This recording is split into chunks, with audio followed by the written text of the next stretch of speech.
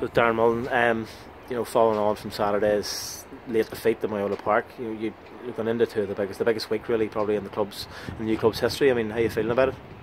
Yeah, we're going into it uh, confident. We've had a really good season. Um, you know, to finish second in our first season back in Irish League football was, you know, was an achievement in itself. But um, we want to finish what, we, what we've started, you know, and to do that to get promoted would be terrific. Uh, we're going into it confident. You know, we've been playing well this season, so it's something that that's to be looked forward to. You know, if you, if you fear big games like this, you don't play well. So it's to go in with, with no fear and give it a really good go. You say it's, it's just about sort of finishing off the season that you've had. You know, obviously came pretty close to winning the title, but you know it's still in your own hands. Over 180 minutes, you just really sort of ask the players one final push. It is, yeah. Look, promotion by whatever means, you know, I'll take it now. Obviously, we only have, have one route, but that, that's that's something that that's our goal. You know, constantly until we get back into the Premiership is promotion, and to make that step back into the Championship of the first attempt would be absolutely brilliant for everyone involved at the club. It's going to be extremely difficult to Armagh City are a very experienced side, you know, and to be honest, I'm surprised they're down at that at that uh, point in the league, but. I'd say it's probably a 50-50 game. You know, so you're going to need a bit of luck.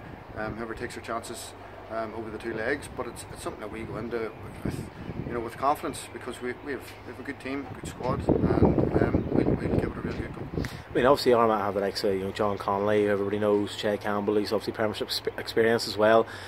You mix them with a lot of young players, but I mean, are you sort of confident in the fact that if your players play to their potential and play how they're capable of playing, that you will come out on top over the 180 minutes? Yeah, even in saying that within our own team, you know, with Mark Hughes.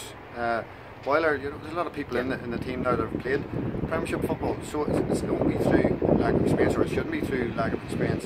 It's just going to, whoever um, takes their chances, you know, who's, who's the more composed and whoever can control it, because I'm sure there'll be nerves throughout both teams.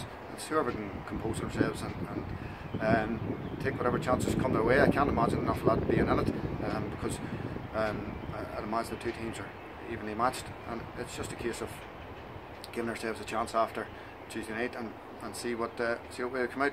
And look, there's two two ways of we'll be promoted, or if not, we'll know what's needed to get promoted for next season. But uh, we're going into it um, with the aim of, of, pushing on and getting promotion.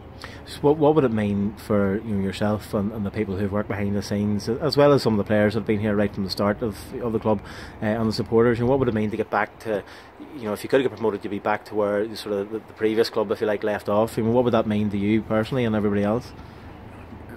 Absolutely brilliant. You know, way ahead of schedule um, because we give ourselves three years to, to get out of the roster, and we did that.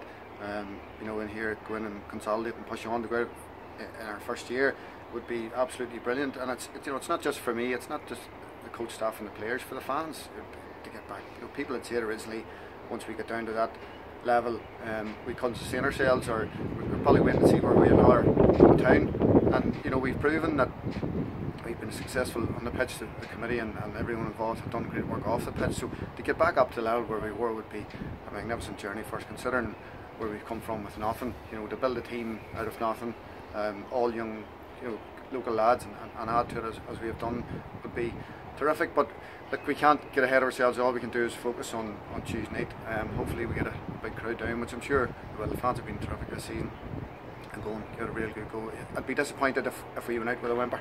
You know, we need to go and give it a real good go. You know, opportunities like this don't come along all the time. We don't know what's going to happen after this year, so we'll go and give it our best. And if it's good enough, well and good. If not, then we'll, we'll see what we need to, to move on.